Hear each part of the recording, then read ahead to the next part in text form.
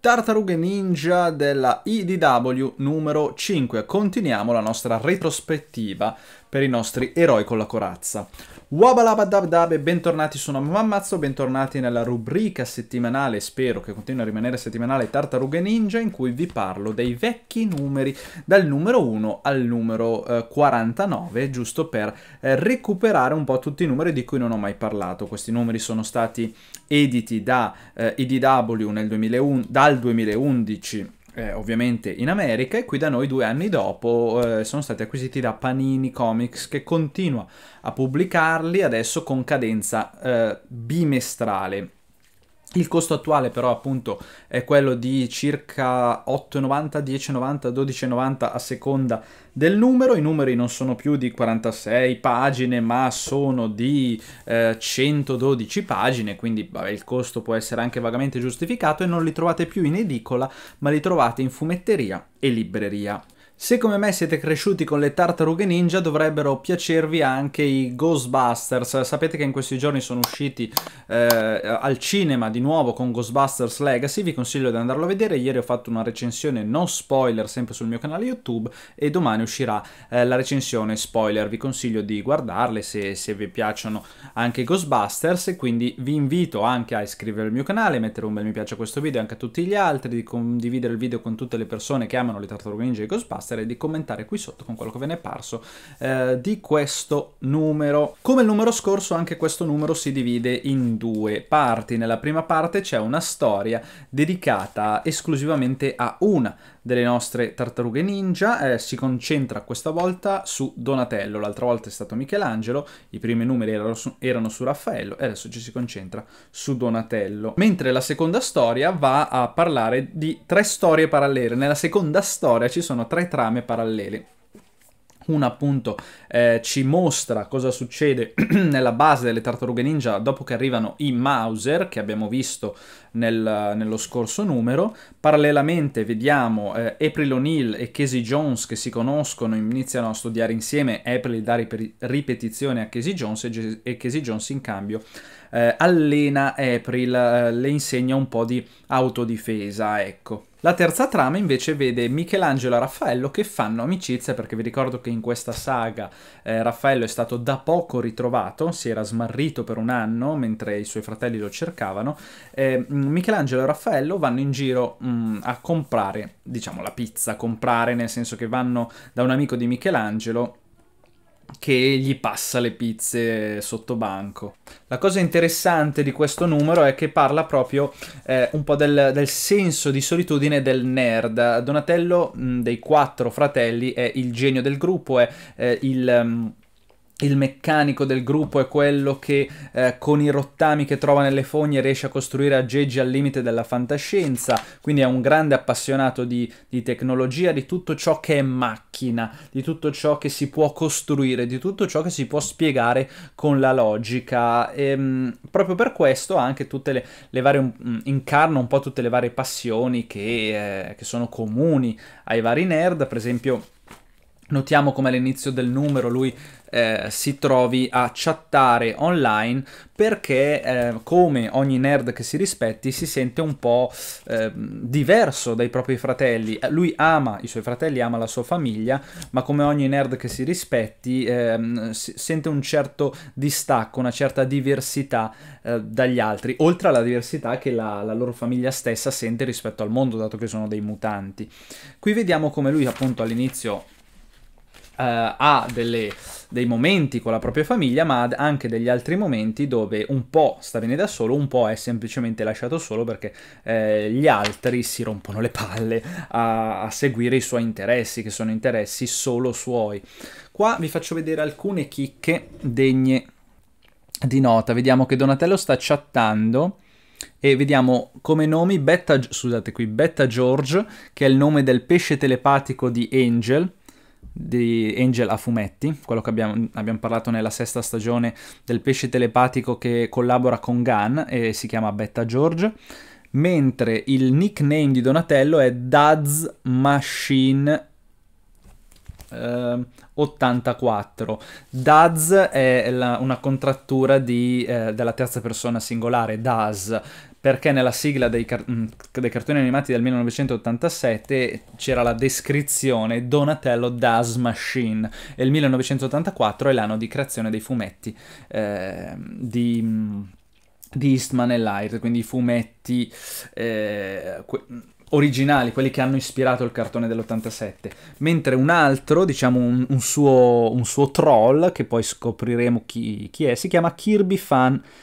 01. Eh, Kirby è Jack Kirby, uno dei, dei, miti di Eastman e Lyre, anzi forse anche il motivo che ha sancito la loro amicizia. Uno dei due aveva una, un disegno autografato di Kirby e questo ha ha, fatto capire all'altro quanto potessero essere eh, amici questi due fumettisti che poi hanno creato le tartarughe ninja. Ultimo ma non meno importante abbiamo anche nella chat il professor John Jordan Perry. Il professor Jordan Perry è il, um, lo scienziato che in Tartarughe Ninja 2 The Secret of the Ooze ha aiutato eh, prima su costrizione ha aiutato Shredder a creare Tocca e Rasar e poi una volta liberato dalle tartarughe ninja li ha aiutate a creare un antimutageno. Vediamo che Donatello va a una fiera high tech dove c'è questo scienziato geniale quanto lui che si chiama Harold Laila, io non ho mai capito bene come pronunciare il suo nome, eh, quindi se sbaglio scrivetemelo qua sotto, che crea delle cose spaventose, spaventose in senso eh, che sono davvero fantascientifiche, un, um, un macchinario che fa levitare la materia, lo stesso macchinario permette anche di rendersi intangibile, tutti progetti che vengono mh, scartati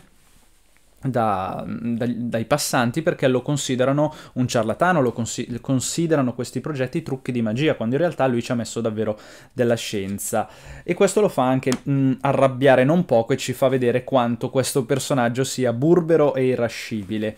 Però non passa inosservato agli scagnozzi della stock gen di Baxter Stockman che invece vogliono vedere i suoi progetti e vogliono appropriarsene, che lui lo voglia o meno. Donatello che è rimasto affascinato da questo personaggio lo segue segue per vedere dove eh, gli scagnozzi di Baxter lo portano e riesce appunto a salvarlo quando Baxter Stockman vuole, eh, diciamo, prendere con la forza eh, un, un, le sue invenzioni, il, il suo, un contratto eh, per la, la, la genialità di Harold Lila. Vediamo come alla fine quando Donatello lo salva, Harold è comunque burbero e irascibile anche con lui, che dimostra eh, quanto possa essere mh,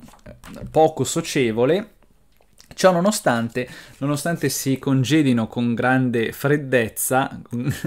eh, si scoprirà, innanzitutto Donatello scopre che Kirby Fan, che era il suo troll della chat, è proprio questo Harold Laila e quindi continuano a litigare nella vita reale, ma poi nell'epilogo finale, quando Donatello continua a sentirsi solo perché magari la sua famiglia non gioca con lui a un videogioco online, quando Leonardo sta per sacrificarsi e fargli compagnia perché da bravo leader capisce le esigenze dei suoi fratelli,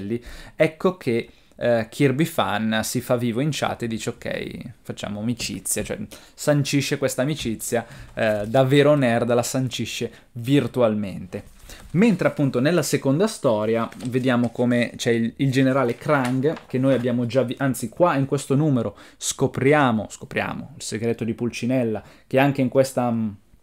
eh, in questo reboot il generale Krang è un cervello, un cervello che sta in un corpo meccanico. Noi lo scopriamo in questo numero, Baxter Stockman ancora non lo sa, perché quando lo vediamo eh, a colloquio con il generale Krang, la, la parte centrale che mostra il, il, cervello, il vero Krang, è coperta.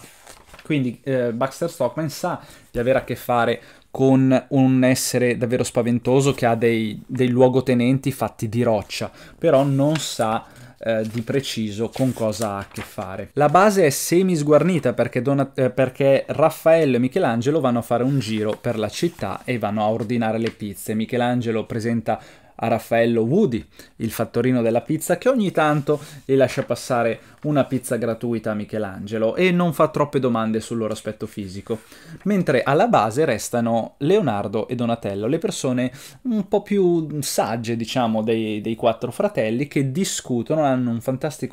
eh, una fantastica discussione sul significato mh, spirituale delle origini che ha, le ha raccontato loro il maestro Splinter nel numero scorso, o nel numero 3 se non sbaglio. Eh, stanno parlando appunto di come Leonardo eh, ovviamente eh, ci crede poiché lui segue una linea